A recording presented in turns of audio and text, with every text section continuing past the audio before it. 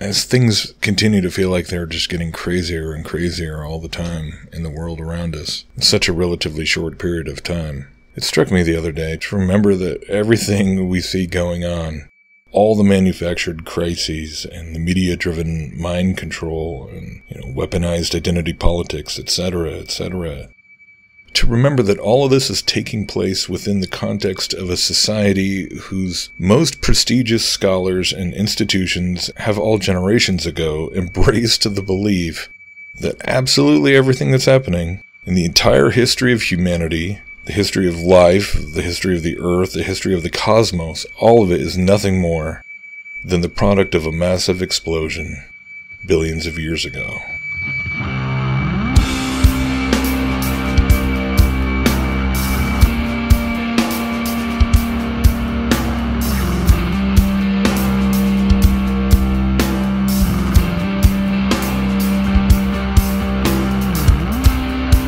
Charles Darwin was not known as a poet, but he rose to a lyrical crescendo in the last paragraph of The Origin of Species.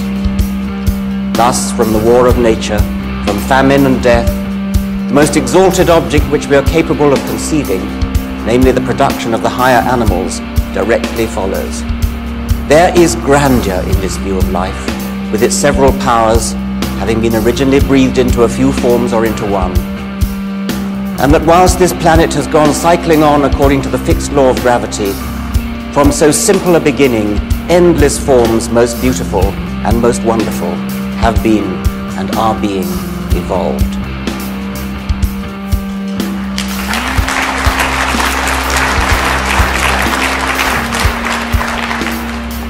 Clear-headed as ever, Darwin recognized the moral paradox at the heart of his great theory.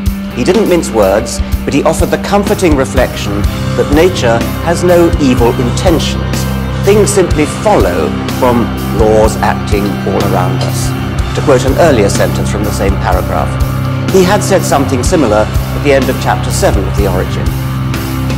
It may not be a logical deduction, but to my imagination, it is far more satisfactory to look at such instincts as the young cuckoo rejecting its foster brothers, ants making slaves, the larvae of Ichneumonidae feeding within the live bodies of caterpillars, not as specially endowed or created instincts, but as small consequences of one general law leading to the advancement of all organic beings, namely multiply, vary, let the strongest live, and the weakest die. One of the reasons, sometimes advanced by historians, for Darwin's loss of faith was his revulsion at the cruelty, or rather the callous indifference, of nature. This was not just an incidental fact. Darwin realized that it followed from the theory of natural selection itself. Darwin had a particular thing about the female ichneumon wasp's habit of stinging its victim to paralyze but not kill it, thereby keeping the meat fresh for its larva as it eats the live prey from within. I cannot persuade myself that a beneficent and omnipotent God would have designedly created the Ichneumonidae with the express intention of their feeding within the living bodies of caterpillars. As we look back on the history of life, we see a picture of never-ending, ever-rejuvenating novelty. Individuals die, and species, families, orders, and even classes go extinct. But the evolutionary process itself seems to pick itself up and resume its recurrent flowering with undiminished freshness with unabated youthfulness as epoch gives way to epoch. The fact of our own existence is almost too surprising to bear.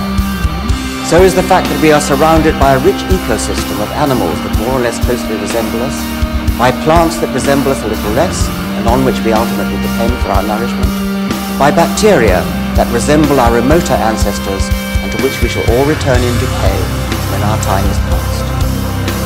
Darwin was way ahead of his time in understanding the magnitude of the problem of our existence, as well as in tumbling to its solution.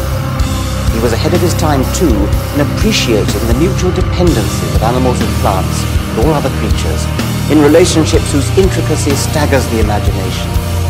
How is it that we find ourselves not merely existing, but surrounded by such complexity, such elegance, such endless forms, most beautiful most wonderful. It is no accident that we see green almost wherever we look.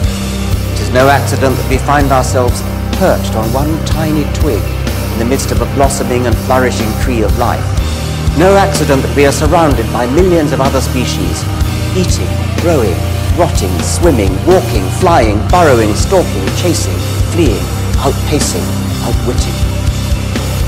Without green plants to outnumber us at least 10 to 1, there would be no energy to power us. Without the ever-escalating arms races between predators and prey, parasites and hosts. Without Darwin's War of Nature. Without his famine and death. There would be no nervous systems capable of seeing anything at all, of appreciating and understanding it.